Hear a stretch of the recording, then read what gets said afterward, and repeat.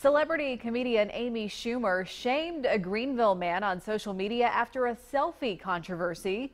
She said on Instagram the man scared her and took her photo after she said no.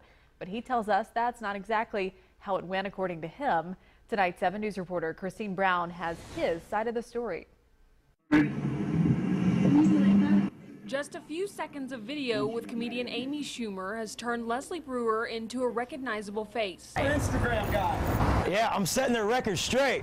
It was a celebrity fan selfie gone wrong. I peek around and like I see her face and I'm like, all right, cool. So I hurry up and get on my Instagram and I'm like, here goes Amy. And then she just loses it and she just gets mad. And Schumer performed in Greenville Friday and was spotted downtown Saturday. That day, she turned to Instagram to tell her followers about the selfie scuffle. She took a picture of Brewer and said she wouldn't be taking any more pictures with fans because of him. She also claimed he told her that she was paid for and that he scared her before taking the selfie after she told him not to. It happened right here at the corner of Main Street and McBee Avenue. He says there were lots of other people around pointing, shouting, and taking pictures of the comedian. And I told her this is America. I said in America, when you see a celebrity, you go and take a selfie. Like we got selfie sticks for it. Like I mean, this is what our culture is. Now he says he's being bullied online by her fans and that she told him it would happen, even though he believes they don't know the full story. If I wasn't as strong of a person I am, people will really cry and break down over all the comments. Like that is